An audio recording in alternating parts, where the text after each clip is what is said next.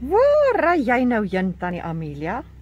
Ah ah, as jy in die kar klim om iewers heen te ry. Ja, dan moet jy jou masker dra. En as jy om die blok gaan stap of op jou fietsie ry, ja, dan moet jy jou masker dra. En as ek in my eie huis is, moet ek 'n masker dra? Nee. As hy ek kan hom nou afhaal want ek is by my huis. 'n Masker is nie altyd lekker nie. Dis ook nie vir my lekker nie, maar dis baie goed. Dit hou al daai corona kieme uit. Kyk daar. Hy maak mos jou mond en jou neus toe. En dan hou dit die corona kieme uit. Dan kan hulle nie in jou mond en in jou neus klim nie. Dis baie slim. En wat moet ons nog doen vir die corona kieme? Ons moet ons handjies vas. Ja, en ons moet die Engelse woord is sanitizer. Ons moet sanitizer aan ons hand sit. By ons skool is sy naam ons antikiem. Ons sit antikiem op ons hand. Onthou jy hy ruik so lekker. Ja. En ons moenie ons gesiggie vat nie. En ons moenie ons speelgoed in ons mond sit. Hoorie, maar ek het nog nie eers vir julle hallo gesê nie. Het julle gesien hoe mooi ding het julle vir my gemaak? Julle het julle handjies gedruk en toe kom laai julle dit by my huis af. Dit was so lekker om julle te sien en toe plak ek dit alles op die wit papier. Nou kan julle saam met my in my huis wees. Dis vir my baie spesiaal. Vandag praat ons van nagdiere. Onthou julle ek leer julle van in die aand? Ja, en in die aand is daar diere wat beweeg en vlieg en kruip. Ooh, eerste moet ons 'n oupa uil wees, want oupa uil vlieg in die aand. Hy hou nie van die dag nie. Nee, as dit donker word, dan kom oupa uil. Hoe maak oupa uil? Woe, woe, en hy vlieg. Ek het 'n regte uil gesien. 'n Uil, mense kry groot uile en klein uile, maar 'n groot uil het so 'n lang, groot vlerke wat so kan flap as hy vlieg. Jy moet asseblief 'n uil wees saam met my. Woe, woe, woe, woe. Vlieg jy bietjie uil? Woe, woe.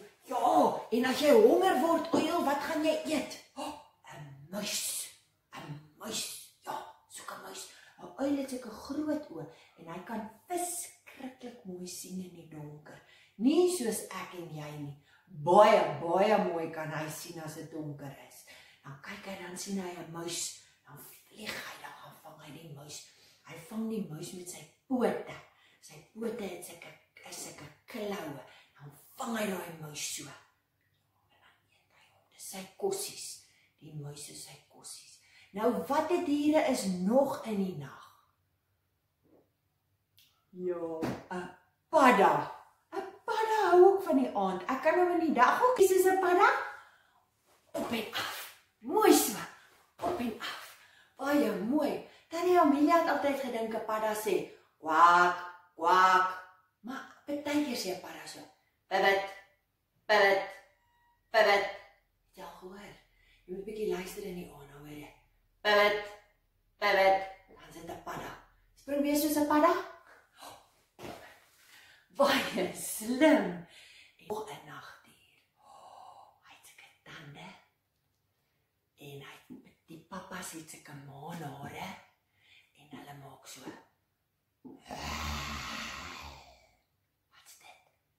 Ja, 'n leeu, 'n leeu en 'n luiperd en 'n jagluiperd.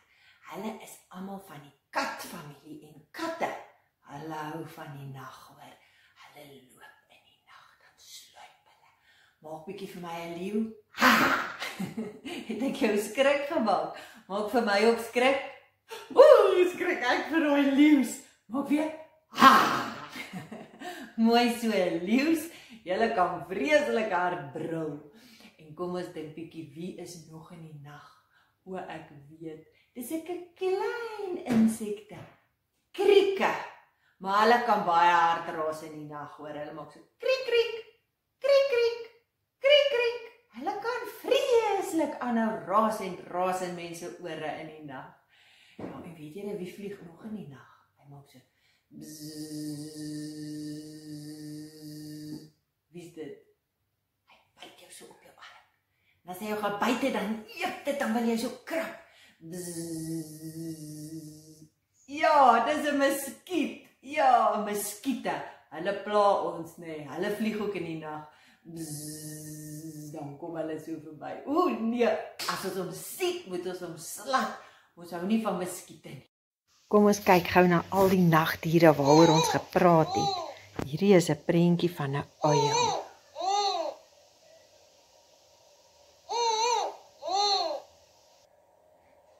O, oh, dis die kwaai leeu. Dis die ou paddaatjie. Hoe donker is dit in die aand.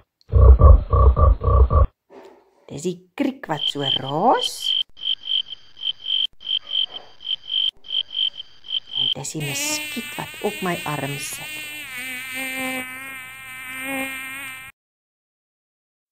Dis tyd om 'n prentjie te gaan maak van hierdie nagdier.